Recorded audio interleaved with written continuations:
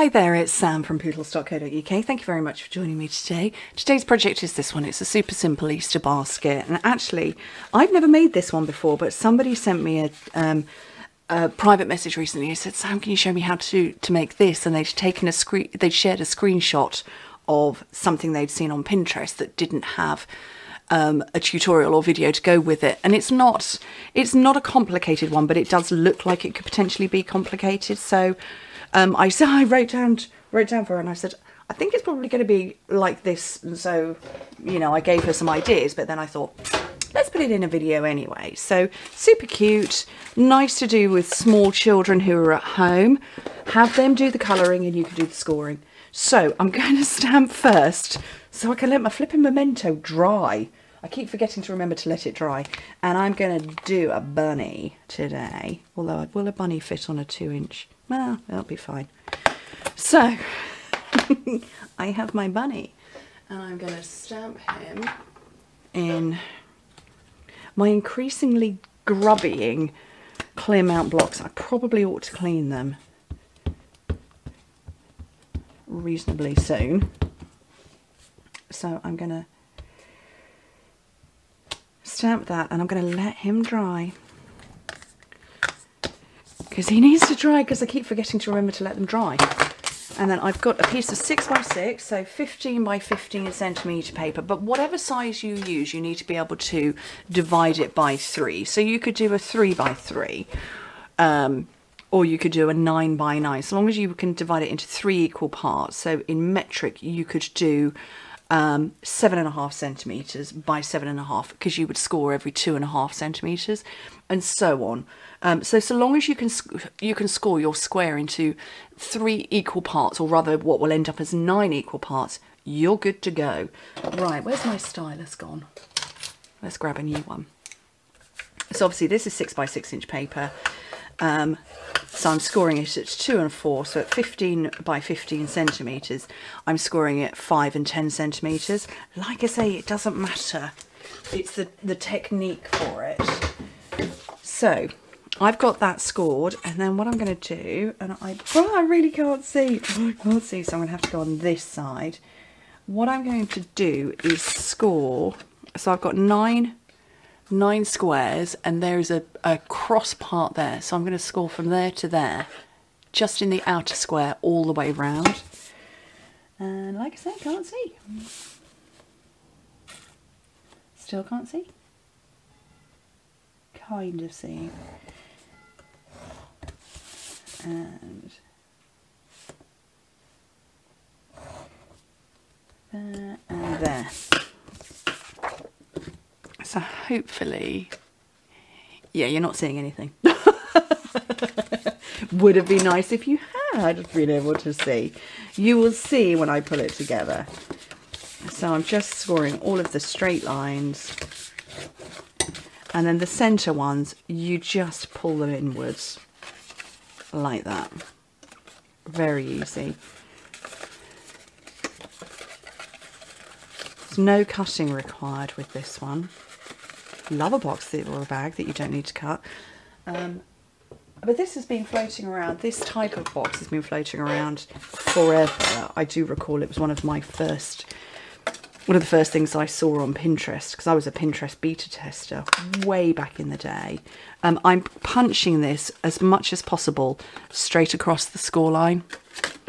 Um, yeah, this is this this bag has been around for a long time, but I've just actually never made one.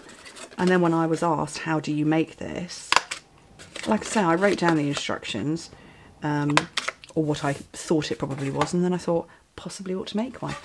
Okay, I've got a bit of glitter that wants to keep appearing. Oh, I found a dimensional back in my bed under my pillow the other evening, but I was getting into the bed for the first time that evening. It wasn't like I found it the following morning.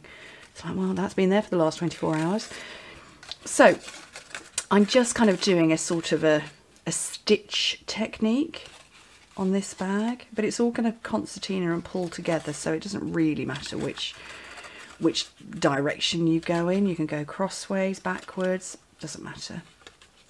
Um,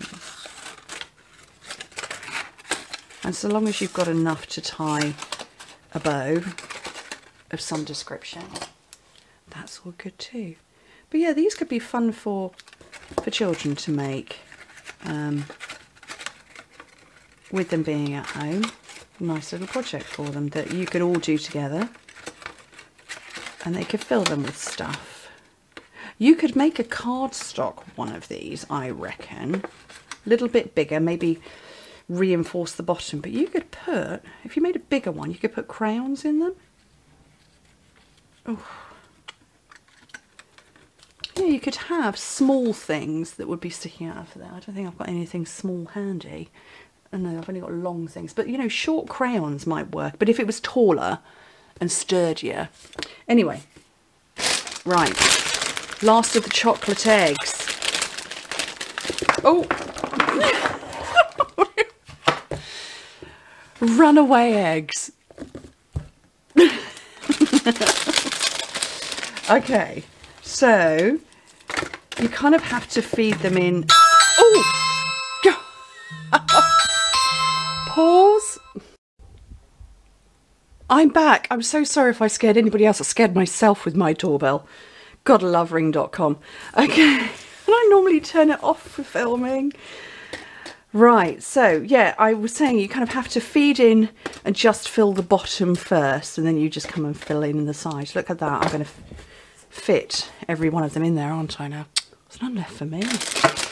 Okay, We're a bit puffed out, I've run up the stairs. Okay, my bunny, I'm going to cut him first, or her. I'm going to cut the bunny first, because I wouldn't want to spend ages colouring, only to like lob an ear off or something. So cut first, colour after. Because it's not like I've ever done that before. I haven't, you know, lobbed an ear off a bunny before, but I've cut. I've spent ages colouring something I've been fussy cutting and then gone and, you know, cut a very important petal or something off. So I can't believe I'm fussy cutting twice in a week. Okay let's get rid of that bit. Yeah, I just, I've cut his curl off, but that's okay. We don't mind cutting the curl off, it's not intrinsic to the project. An ear probably would be. Or a foot.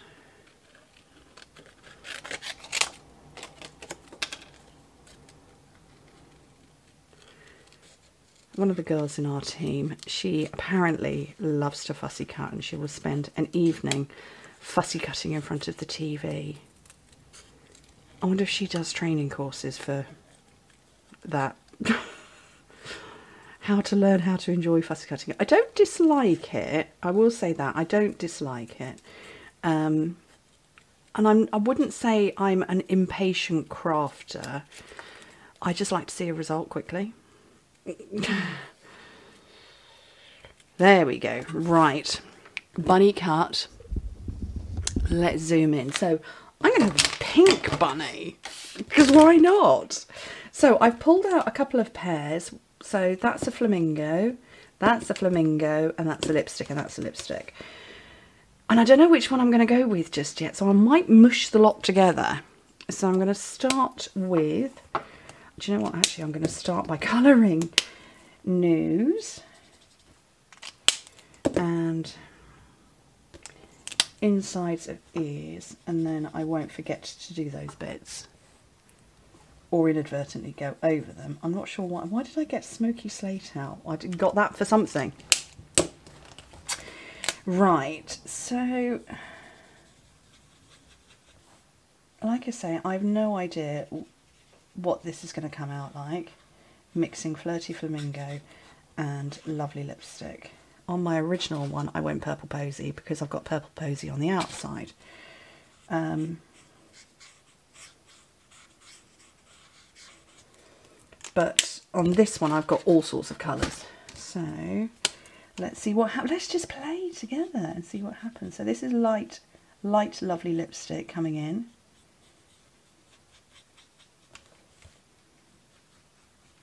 And there's a cat in here. I can hear her tapping on my floor. Which one is it? It's Sorrel. Hello. Oh, just you headbutt me. No, no. I'm looking at. Oh, Just a tail in the face.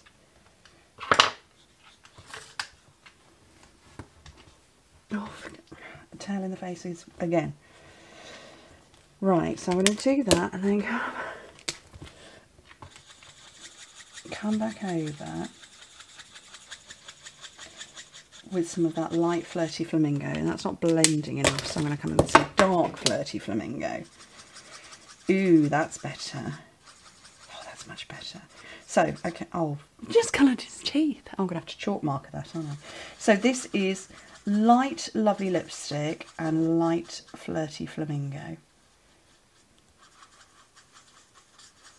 That's quite nice. That's gone kind of orangey. Well, it's gone very orangey, but that's not bad. Okay, a bit more of that. A bit more of this. That's all right, isn't it? Didn't expect that. Okay, so I'm going to put some light flirty flamingo on his chest puff thing. Oh, oh, I know what I got that for. Bottom of the feet. Knew I'd got smoky slate out for something. Bottom of the feet. Okay, so dark flirty flamingo on toes. Just everywhere, I think, apart from that chest puff.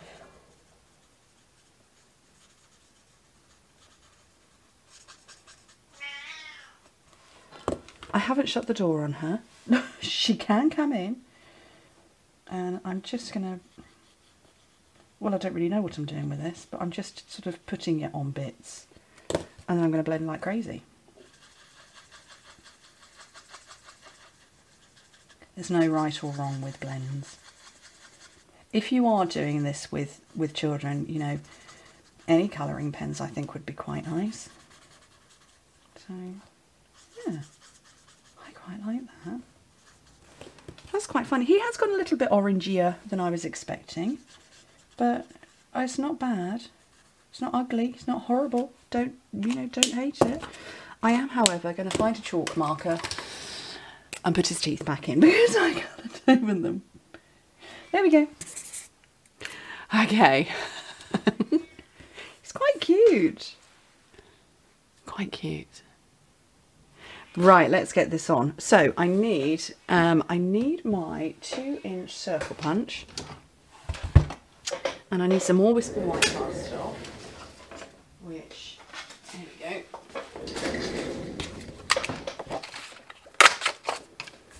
And I'm going to pop a hole in this. And I tied this up. Silly Sam, I tied it up before I was meant to. Do.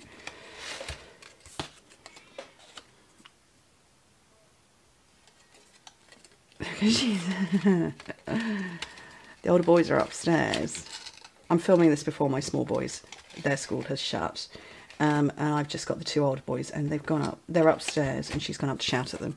like, let me come and play with you. Okay, a couple of dimensionals on the back there.